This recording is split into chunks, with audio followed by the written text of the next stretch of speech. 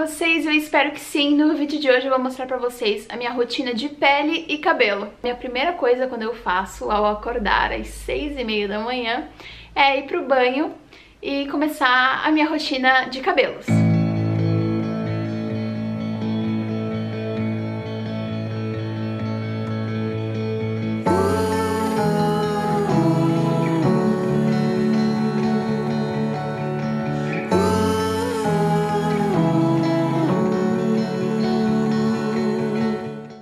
Tenho dois produtos no meu chuveiro, o shampoo de gengibre da The Body Shop. E antes de tudo, eu queria falar que esse vídeo não foi patrocinado pela The Body Shop.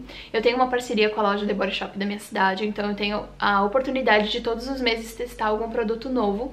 E de fato, eu tô a maioria dos produtos que eu uso nesse vídeo, se não todos, são da The Body Shop.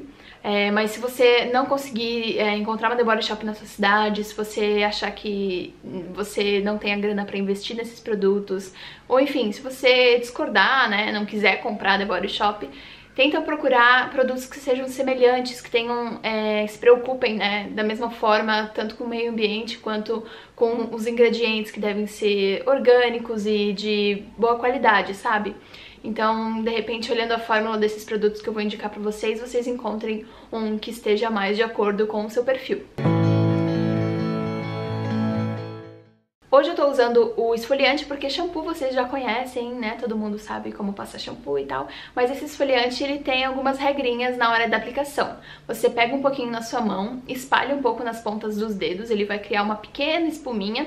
E aí você coloca nessas partes é, do couro cabeludo, na frente do seu cabelo e também nessa parte do couro cabeludo atrás. Porque o esfoliante é justamente isso, você tem que massagear por algum tempo. Eu fico pelo menos 5 minutos massageando minha cabeça, passando esse esfoliante e depois o que sobra eu levo pros fios e não tem problema nenhum. Enquanto esse esfoliante age no meu cabelo, eu deixo ele um tempinho ali agindo, eu uso o meu, a minha espuminha de rosto, que é perfeita, da The Body Shop também, que é de aloe vera. Ela é maravilhosa, ela tem um poder calmante pra pele, então eu uso ela pra limpar minha pele de manhã e à noite, eu tô gostando bastante do resultado.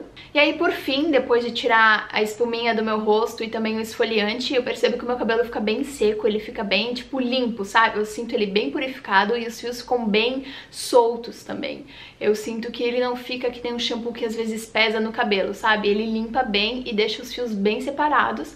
Aí eu venho com o meu condicionador, que é de green tea também, de chá verde, da The Body Shop, e passo, tipo, dessa parte do cabelo aqui pra baixo, e é dessa forma que eu faço. Aí após o banho eu passo sempre três produtinhos e isso são produtos que eu passo todos os dias, por isso que é a minha rotina, né? Eu tenho vários produtos e eu acho que não seja necessário passar todos, todos os dias, mas tem três que são bem essenciais pra mim. O primeiro deles é o óleo de, de tea tree, que é como se fosse um óleo essencial, mas ele tem uma, uma porcentagem um pouco menor do que o óleo essencial, porque se você passa o óleo essencial de tea tree direto no seu rosto, é muito provável que ele fique muito sensível, que ele descasque e tal, porque o tea tree é bem poderoso. Então a The Body Shop criou esse óleo que você pode aplicar direto na pele pra secar espinhas, pra cicatrizar é, pequenos cortezinhos ou coisinhas que você queira, que vocês tenham na sua pele e você quer disfarçar e quer tratar. Aí depois disso eu passo a minha vitamina C no rosto, que é um spray da The Body que tem vitamina C e ele é maravilhoso. A Bruna usa na rosácea dela, ela tem rosácea, aquele probleminha de pele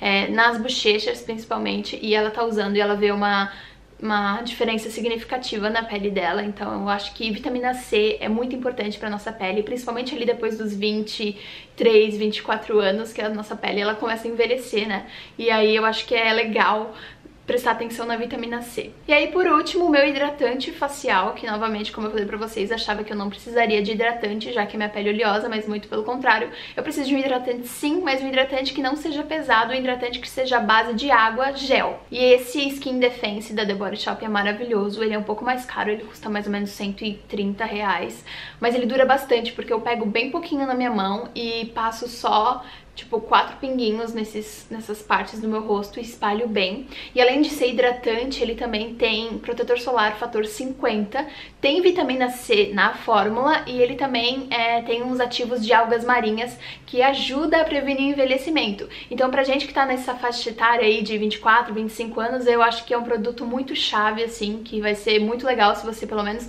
de todos esses que eu tô falando, tiver uma grana pra comprar o Skin Defense. Ele sempre tá em falta na loja aqui de Blumenau, porque as pessoas realmente gostam muito dele e eu tô adorando muito, não me vejo mais sem esse produto.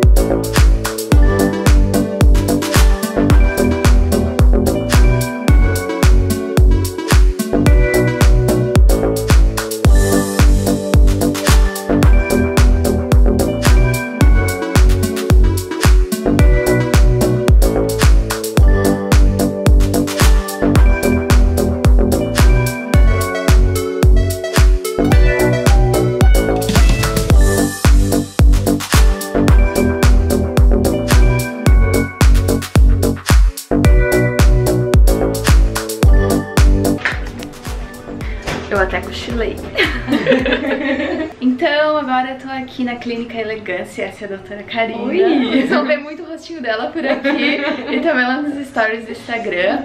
É, além de cuidar da minha pele de manhã, como todas as, manhãs que eu faço e mostrei pra vocês, agora a gente também tá fazendo limpeza de pele, né? Isso mesmo. E é por isso que eu tô com esses pontinhos um pouquinho mais vermelhos, porque a doutora Karina... Quer explicar um pouquinho o que claro. você fez? É, primeiro que esses pontinhos, eles acabam sendo um pouquinho inevitáveis. Porque quando às vezes o, o cravo ele tá um pouquinho maior, a gente precisa extrair. Uhum. Isso é porque é uma limpeza é, de pele profunda. Então é bem interessante porque quando a gente vai extrair, às vezes uns saltam, né, Mi? então é bem importante essa questão da limpeza de pele, justamente porque é diferente dentro de consultório, como o, o, o em casa. É. E tem os produtos home care, que a Mi já me falou qual que ela usa. E é tudo super esterilizado, né? Em casa a gente Isso. vai lá e mete o dedão todo sujo. Uhum de, de bactéria do dia a dia. E, e, você viu que eu tinha estudado uma, uma é, deu uma machucadinha, por isso que fica mais vermelho, é. né? Uhum. E daí depois a gente vai percebendo que a pele ela vai acalmando. A gente faz a questão depois da, da extração, um, uma massagem bem maravilhosa, Nossa, né? Tá muito bom. E aquela máscara bem fresquinha. Isso, porque quando a pele tá resfriada, esse é o segredo de não acontecer as manchas, que é o que a gente vai tratar com a Mi, a cicatriz de acne, porque é de cutucar, uhum. né? Isso tem solução. Então é bem Legal. importante quando a gente vai sabendo o que, que a gente é, pode fazer. É bom, bom as meninas saber que tem solução, porque muitas de vocês que me acompanham também têm a pele oleosa, também usam aquela linha da The Body Shop que eu sempre indico. Então, uhum. bacana fazer a limpeza de pele, né? Isso Regularmente. Mesmo. É, e tem assim, tem pelezinhas, Mi, uhum. e pessoal que tá vendo, que é bem aconselhado fazer uma vez por mês. Porém, vai ter peles que a gente pode estar tá marcando limpeza de pele duas vezes por ano, justamente porque elas já cuidam, uhum. ou porque é de hereditariedade, Legal. a pele já não é tão mais um, danificada, uhum. uma coisa assim, né? Uhum. A gente pode ir acompanhando. Legal, muito obrigada! Imagina! E aí depois desse dia corrido, de tudo que aconteceu, vocês viram aí, é, depois também da limpeza de pele, a doutora Karina aconselhou que eu somente passasse uma água termal para acalmar minha pele. A água termal, ela ajuda bastante nisso, assim, quando você tá muito quente, muito suada, passa uma água termal super refresca, durante o verão eu uso bastante pra refrescar, pra minha pele não ficar tão irritada. A Bruna, ela tem a rosácea, como eu falei pra vocês, ela também passa água termal todos os dias. Eu acho que é um produtinho também bem importante pra você ter em casa. Eu uso a Evian, que eu comprei numa viagem, mas tem várias marcas aqui no Brasil que você pode pesquisar e ver qual que você se identifica mais. Como nesse dia eu só precisei passar água termal e dormir, não teve nenhum outro passo. Mas outras coisas que eu queria mostrar pra vocês e falar um pouquinho são sobre as máscaras faciais, que eu acho que é bem importante.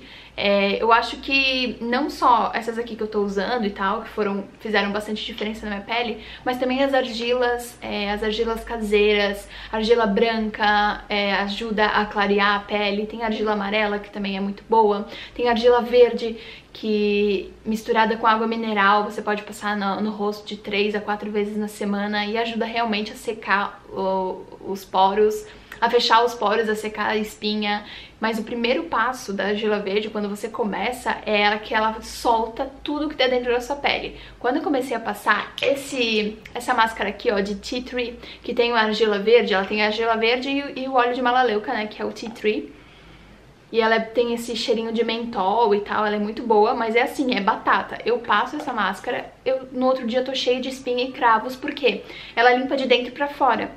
E isso que é o poder da argila verde. Ela, no começo, quando você utilizar, você vai falar, meu Deus, eu tô usando isso pra tirar as espinhas e só tá aumentando. É normal, acostuma. Nos primeiras vezes, você tem que limpar sua pele de dentro pra fora.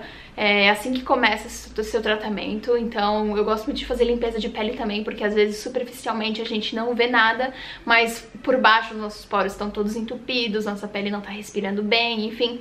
E quando você passa aí dos 25 anos, né, vou fazer 25 anos esse ano, eu acho que a sua pele vai envelhecendo mais rápido e é importante a gente ter esses cuidados. As argilas são uma ótima opção aí pra você cuidar da sua pele. Dá uma pesquisada sobre argila vermelha, argila branca, argila amarela, e essas argilas tem sempre pra comprar em lojas de produtos naturais, tá? Bom, esse vídeo ficou gigantesco, falei demais, mas esses eram as dúvidas que vocês tinham a respeito é, do meu cabelo, a respeito da minha pele, dos produtos que eu uso, dos produtos que eu indico. Eu espero muito que vocês tenham gostado desse vídeo. Se você gostou, não esquece de deixar o seu like, de comentar aqui embaixo qual produto você mais gosta, como você trata a sua pele, quais produtos você gostou de ficar sabendo, enfim, comenta aqui embaixo para eu saber também se devo fazer mais vídeos como esse. Não esquece de se inscrever no canal se você ainda não está inscrito e de me seguir nas redes sociais. Um beijo enorme, até o próximo vídeo e tchau!